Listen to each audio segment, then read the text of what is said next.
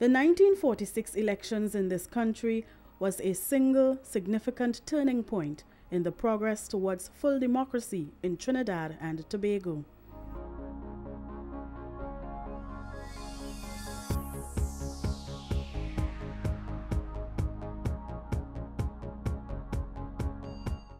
Elections in Trinidad and Tobago are always an exciting time, and the 1946 elections, which were the first under universal adult suffrage, did not disappoint.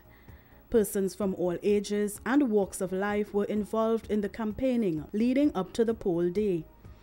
And it was not uncommon for Tobagonians to come to Trinidad to further their personal development.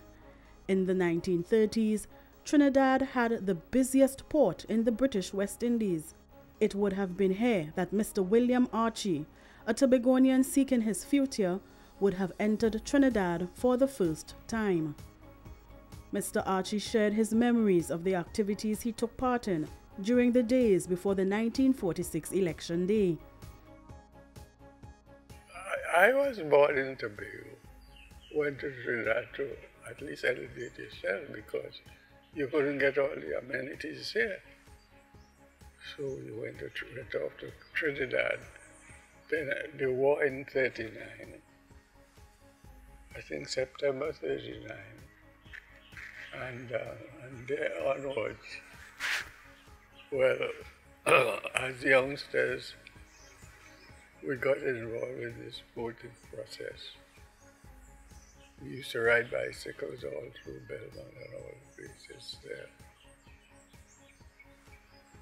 Camp, help competing and as boys, you, you're having fun. We ride to Diego Martin. All, all those places, you Blue Basin and well having fun coming out of a period of struggle for better living conditions for citizens in the crown colonies of the Caribbean and the fight for universal adult suffrage in Trinidad and Tobago, the 95 year old Mr. Archie said although many of his friends were not interested in voting, he gladly accepted the opportunity. Is it first, um,